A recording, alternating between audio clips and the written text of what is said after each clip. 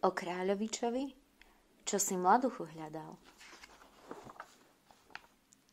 Bol raz jeden kráľ a kráľovná, starí už ľudia, a mali iba jediného syna, mladého kráľoviča. Veľmi sa tomu svojmu jedináčikovi tešili, lebo ho kráľovná už na staré dni porodila a ani predtým nikdy dietky nemala.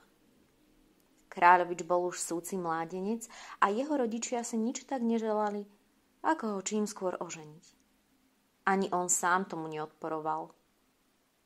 Kázali mu teda, aby sa len vybral, že mu tu dajú za ženu, ktorú mu len srdce zažiada.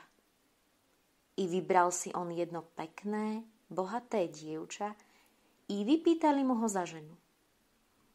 Boli aj prstienky, ale po prstienkoch to dievča hneď zomrelo.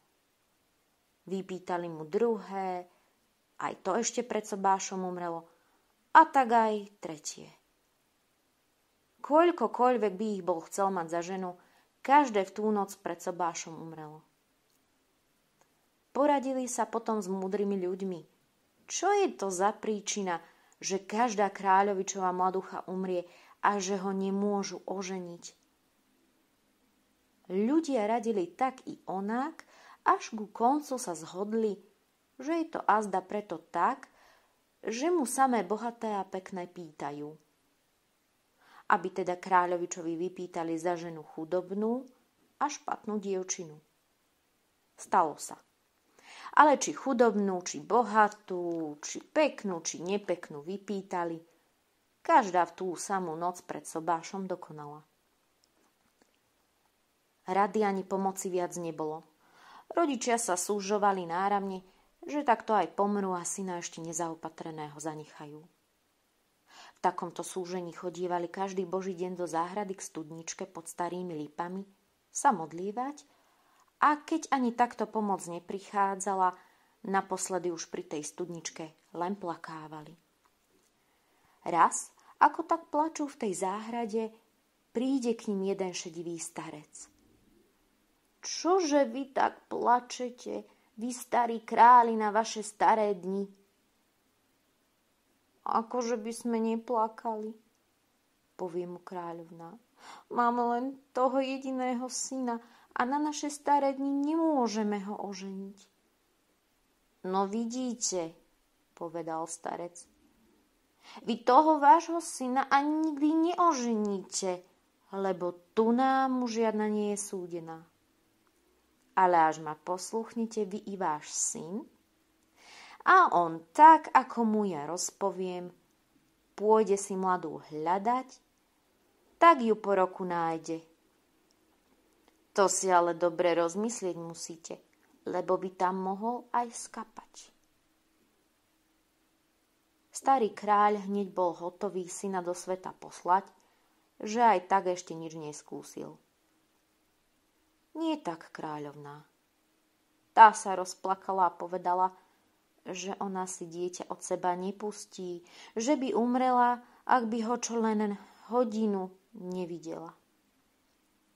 Na veľa, na veľa, dala sa aj ona nahovoriť a takto oznámili kráľovičovi. Ten chcel hneď a zaraz konia sedlať a cválať, len aby mu vraj ten starec ukázal, ktorú stranu má ísť.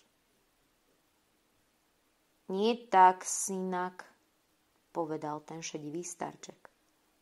Keď ty chceš tú dostať, ktorú som ti ja prisúdil, musíš mi popredku na holých kolenách prisahať, že ma po všetkom posluchneš. A nechcel ten starec nič ďalej povedať, kým mu kráľovič tam pri tej studničke pod tými starými lipami neprisahal, že sa tak zachová vo všetkom, ako mu on prikáže. Potom starec začal.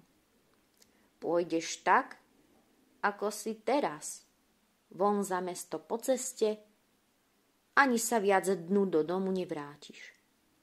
Za mestom si s prvým žobrákom, ktorého stretneš, šaty vymeníš a pôjdeš ďalej – kým jedného človeka v červenej čiapočke nestretneš. To bude môj sluha, s ním pôjdeš a toho vo všetkom poslúchať budeš, tak ako si mi prisahal. A tu máš toto zrkadielko. To si varuj, ako svoje oči. Ukáž ho potom tvojej mladej, keď ti ten môj sluha privolí. Kráľovič ešte raz všetko starcovi prisľúbil, ten zmizol a on sa tam na mieste s rodičmi rozlúčil. Ide, ide, smutný, sám ako palec, ani nepozerá, akou cestou ide, kým nepríde na široké pole. Tam ho stretne jeden žobráčik, ale on sa na ňo ani neobzrie. Iba tu vidí, že sa nad ním mračí a už aj poprcháva. Ej, vraví si. Veď ja tu zmoknem a moje drahé šaty na mne. Len teraz mu prišlo na um, že si ich mal s prvým žobrákom prečarať. Volá naspäť za žobrákom. Hej, starúčky, postojte, že málo. Žobrák postal síce, no šaty si nechcel dať. On mu ich ale na silu strhal a svoje panskému dal. Tu sa až sám nad sebou zošklivil taký otrhaný, umazaný vyzeral. V tom už aj hodne pršalo a hrmelo i obzrie sa, aby sa voľa kde ukryl. Tu sa za ním zjaví chlap červenej čiapočke. Ej, máš ty šťastie, že si si šaty prečaroval. Dávno ja okolo teba okúňam, ale som k tebe nemohol, kým si bol v kráľovských hábach. Teraz poď, ukrieme sa pred búrkou, lebo tá len na nás ide. A kdeže sa tu hriešný človek ukrie šírom poli? Povie kráľovič. Už si len staň ku mne, veď uvidíš. Kráľovič si stal k nemu, ten urobil okolo nich kruh, kľakol na kolená a modlil sa. I kráľovič tak urobiť musel. Lejavec prišiel veľký, ani skrhlibých viac nebol mohol oblievať, Blízkalo sa krížom krážom a hromy praskali okolo nich, ale kráľovič sa ani hnúť nesmel, lebo starcov sluha kľačala a jemu prikázal kľačať. Na veľa sa vyjasnilo a oni postávali hore, ale už bola noc. No, kdeže my tu nocovať budeme? povie kráľovič. Nuž, kdeže by? povie červenáčik tu, kde sme, tak ako sme, alebo ak sa ti páči, idúci nocou. Ej, to sa ja radšej domov vrátim, ako by som mal takto hynúť. Keď chceš, vráca, ale sa rozpomeň na to, čo si prisahal, že ostaneš na väčšie veky bez ženy. Čože mal robiť chudák kráľovič? Už len pristal na všetko. Šli kým ich nočný vietor trocha neobsušil. Potom urobili okolo seba kruh, do toho si políhali a vyspali sa. Bárs to ako tvrdo padlo nášmu kráľovičovi. Ráno šli a šli celý deň a čo im dobrí ľudia nadelili, z toho žili. Kedykoľvek ich búrka zastihla, museli si v šírom poli do kruhu na kolená pokľakať a tak prečkať, kým prešla na noc vždy v šírom poli alebo v hore na čistine do kruhu políhať a keď búrka prišla, zase noc na kolenách stráviť. Ak si v taký čas da kde blízko stromu alebo dákej chalúbky pokľakali, tu priamo od hromu zhorelo. Tu i tam, keď si dačo od ľudí pýtali, odbili ich, že pre takých tulákov nič nemajú, Museli potom i na to pristať, keď v hore dáku plánočku alebo jahôdku našli. A takto šlo deň po dni, noc po noci, po celý Boží rok. Po roku prišli k jedným veľkým poliam. No, povie červenáči. Keď sa cez tieto polia preškrabeme, tak sme už pri svojom. Akože sa ti ja budem driapať, odvetí kráľovič. Keď od hladu a smedu ani malým prstom pohnúť nevládzem. Ani to dobre nedopovedal a už z čistá jasná rovno nad nimi zahrmelo. Rýchlo do kruhu, kľakni na hole kolená a modli sa. Čierne mraky sa nahrnuli zo všetkých strán, len tak vrelo a hrom za hromom udíral do tých polí. V okamihu sa strhla noc, ktorú len blesky osvecovali.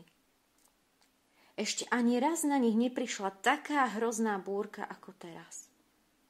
Do polnoci voľaj ako len vydržal náš kráľovič, ale po polnoci chcel už do jednej diery odskočiť, iba ho ten červenej čiapočke zachytil a k sebe strhol.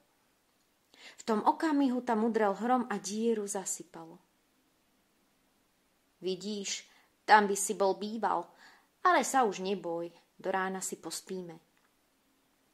Ani raz viacej nezahrmelo, ale sa pekne vyjasnívalo a ráno vykuklo slnko. Na teplom slníčku si trocha podriemali a potom hýbaj cez polia. Za poliami bol celkom nový svet. Prišli do jednej krásnej doliny a onedlho k jednému zámku do utešenej záhrady. Zrelo ovocie a už zďaleka sa na nich usmievalo. Ej, túto si už aj zajeme, hovorí kráľovič. Ani najmenšieho sa nedotkni, lebo zle bude len pod za mnou. A tak sa ťahali popod stromy v tej záhrade, kým neprišli do jedného starého zváľaného domčeka. Tu si posadali a čakali.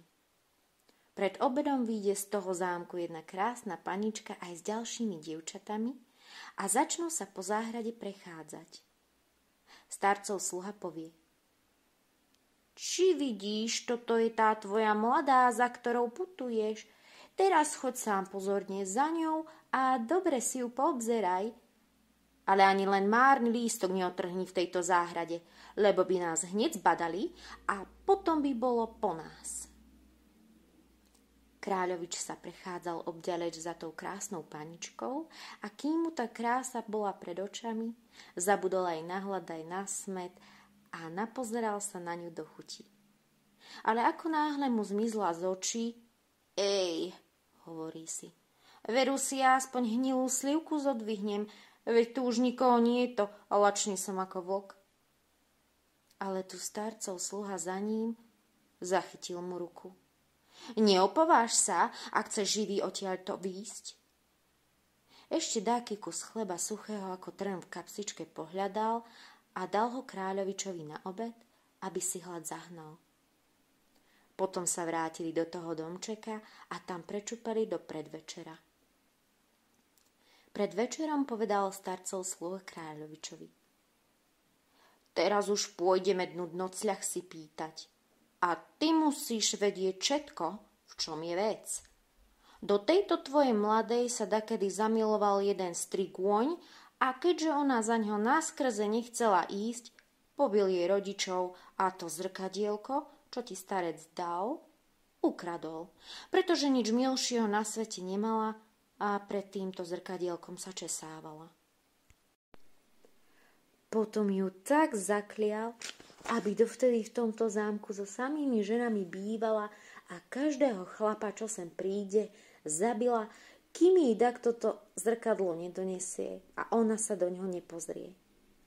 Ten starec odňal pred rokom to zrkadlo tomu strigôňovi a tebe ho dal. Všetko už len na tom bude záležať, aby si jej ho ukázal. Ale sa ešte musíš tak zachovať, ako ti poviem.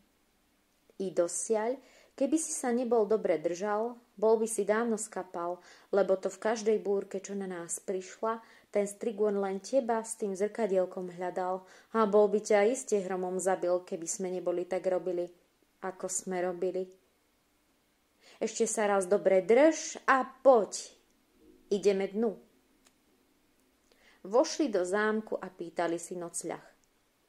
Tu ich ako pocestných tie ženské veľmi vďačne prijali a kázali sa im len poskladať. Večeru im veľmi dobrú na stôl dali – a kráľovič sa radoval, že aspoň raz do roka si dobre zaje. Nie tak ešte, toto je všetko otrava, povie starcov sluha. A jesť mu nedal.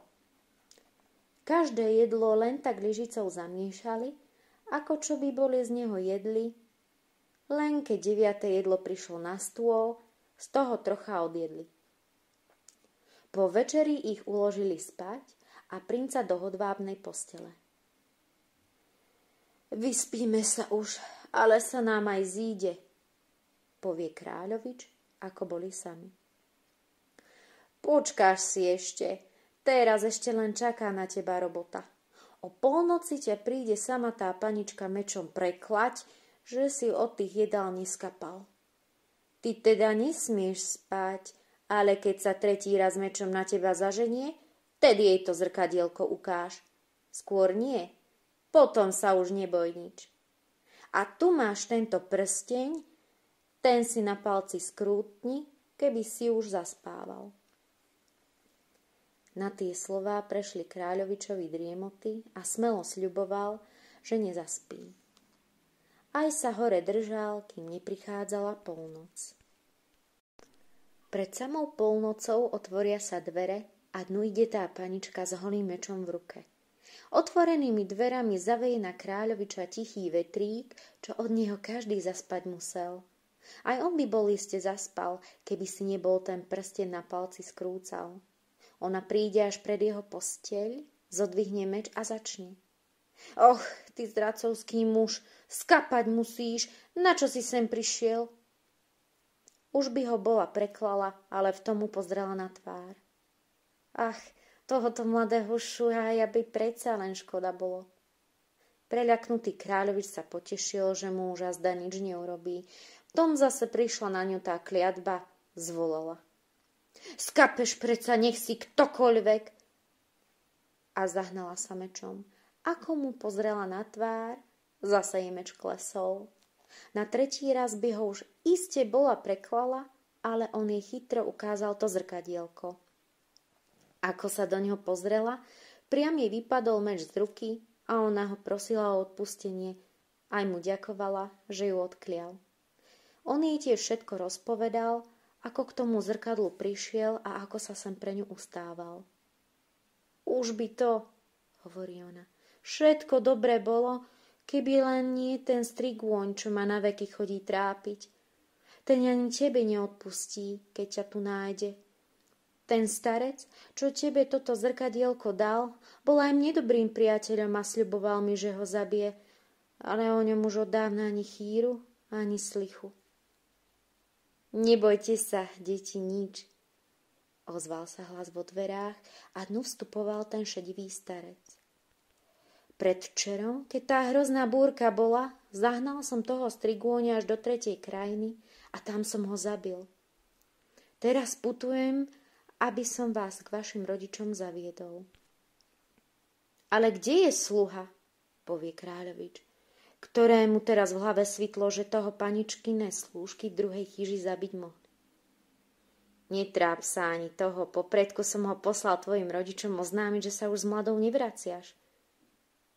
Tak ich ten šedivý starec zaviedol ku kráľovičovým rodičom, ktorí sa teraz od samej radosti zase rozplakali ale potom už bola svadba a veselie bez konca kraja.